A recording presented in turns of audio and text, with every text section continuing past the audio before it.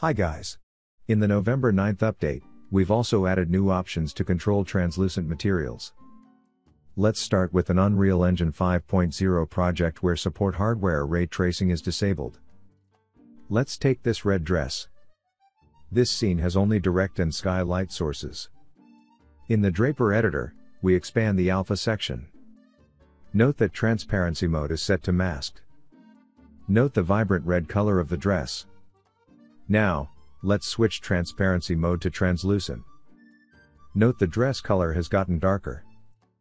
This is how it used to be previously when we used surface translucency volume mode by default. In the November 9th update, we've added a possibility to select surface forward shading. Let's select forward shading instead of translucency volume. Now we have much better matching colors between translucent and masked modes. We can also adjust opacity max and observe the translucent shadows. Let's try to use rectangular area lights.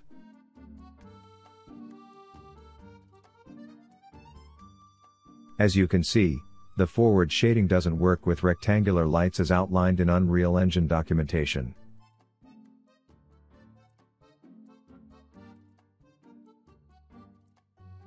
Nevertheless, forward shading works well with point lights and spotlights.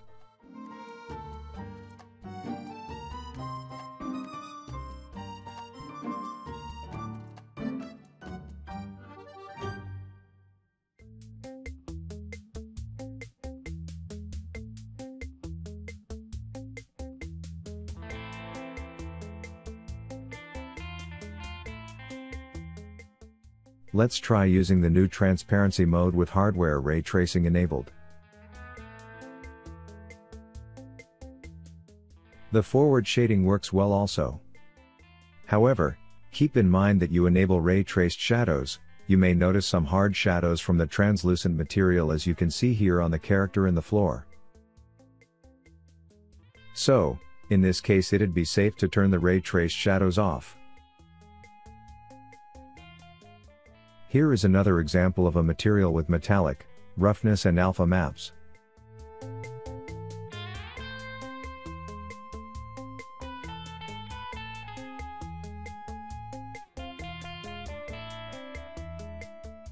In this scene, we're using a few spotlights. As we can see, when surface translucency volume option is selected, the metallic opaque areas don't look as good as in the masked mode. Yet the forward shading works well and we can see both translucent and opaque areas with metallic effects.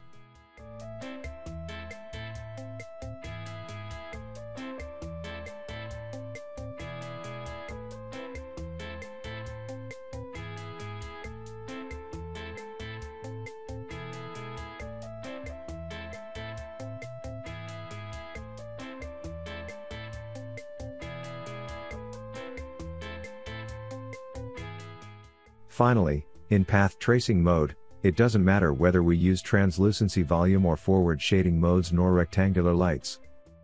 However, in path tracing mode, make sure you're using local vertex factory instead of geometry cache for your Draper garment components.